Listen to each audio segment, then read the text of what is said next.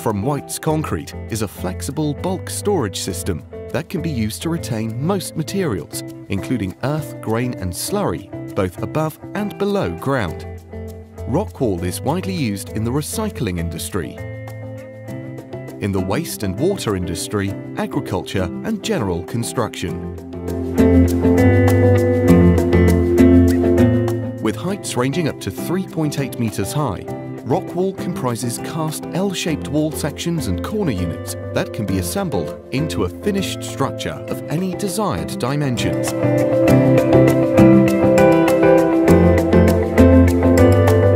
Once the site has been cleared and a suitable concrete plinth constructed,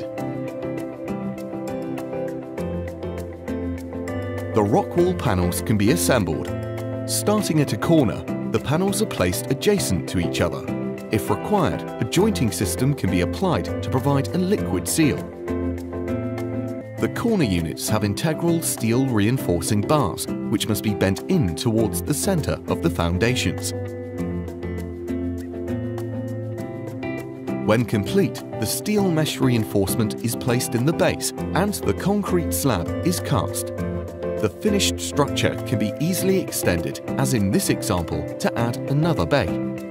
Additional steel reinforcing bars are threaded into sockets on the back of the panels to provide additional slab support and prevent differential settlement.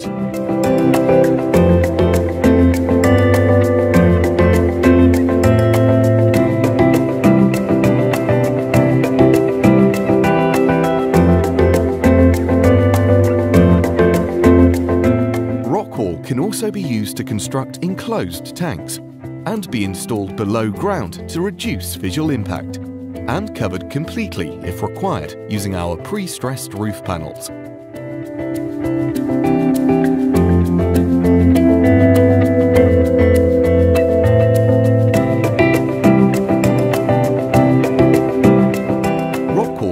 Basic ability to act as a retaining structure in general applications, such as ground walling, perimeter boundaries and changes in level, mainly where constraints such as access and time are paramount. Rockwall is also available as a bolt-down unit where no future slab is required.